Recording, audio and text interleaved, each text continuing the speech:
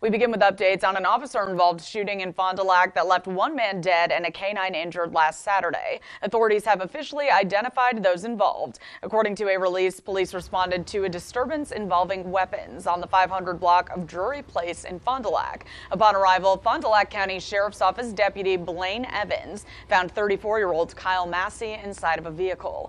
Gunfire was then exchanged between Deputy Evans and Massey. Massey sustained injuries and first aid was rendered, but he was pronounced dead at the scene.